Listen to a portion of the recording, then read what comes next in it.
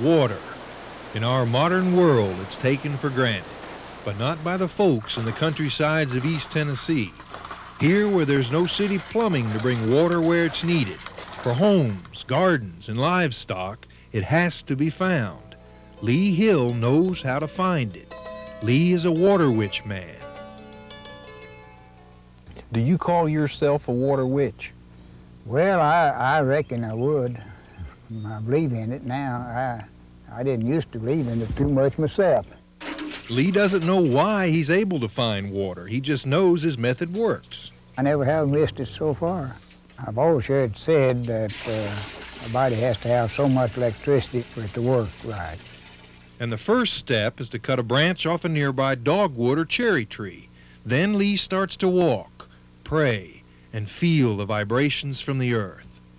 When you get close enough to that water, that stick will start pulling over. You've got to give to that stick, and the closer you get, the further down it goes. And when you get right over that water, or it'll go right straight down to the ground if you let it. Watch it. Right. There's water right here under us. So my fingernails would peel the bark off that and sticks as it go around. I never do show this trick because ain't nobody gonna believe it. they, they'd say that's foolishness. Do you think it is? no, I really don't. I think I can follow a stream of water. If you put that in your mouth there, that thing will go toward where the water runs. Yeah.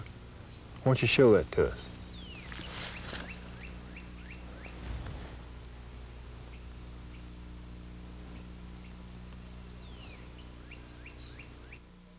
We had quite a sizable investment here already. We had to have water. We had to have water from someplace. We were desperate for it. Ernest Meadows is convinced of Lee's ability.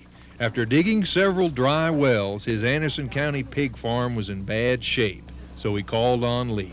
I said, I got to have a well that supplies 10 or 15 gallons a minute. So he looked over the area. I showed him the area. He walked over it.